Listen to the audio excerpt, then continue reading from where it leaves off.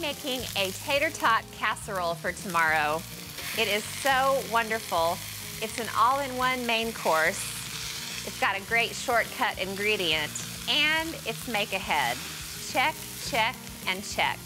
I'm gonna assemble the casserole today and bake it tomorrow. I'm just browning some breakfast sausage with some finely diced onion.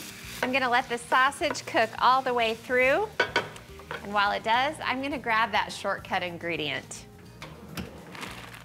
Frozen tater tots. So easy. All I need to do is get them into a buttered baking dish.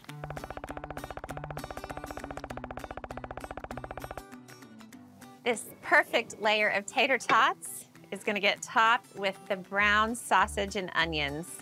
And it's fine that this is hot. It's gonna have a chance to cool down before I add the other ingredients. Once the casserole bakes, those tater tots just turn into potatoes. You would never know they were frozen. Okay, that is all the sausage. Now I'll start working on the egg mixture. This casserole has a lot of cheese, so I'm gonna grate up some cheddar and some Monterey Jack.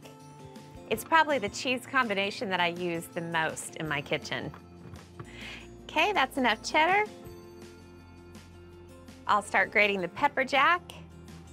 Love pepper jack cheese, it's so creamy and I love the spice. Okay, that's it for the cheese. Get it out of here. I've got four eggs that I cracked into the pitcher and I'll add a cup of milk. It's whole milk just to make the whole thing a little more rich.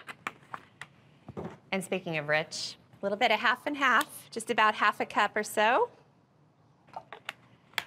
Now the sausage is really flavorful and plenty salty, but I'm gonna add just a little bit of seasoned salt, about a quarter teaspoon. And for some spice, a little cayenne pepper. Really simple, and then I'll whisk this together. Okay, that is nice and mixed. So I'll add some green and red bell pepper. I seeded it and pulled out the membranes and then I diced them really fine. Okay, the last thing to add to the egg mixture is half of this cheese. The other half is gonna go on top of the casserole. I'll give it a quick stir. And then this beautiful concoction gets poured over the sausage, which is cool by now. And look at all that chunky wonderfulness. Make sure it's all even.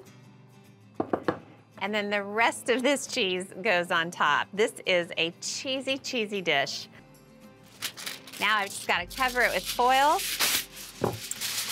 stash it in the fridge overnight, and tomorrow when it comes to baking and serving, well, that's gonna be a cinch.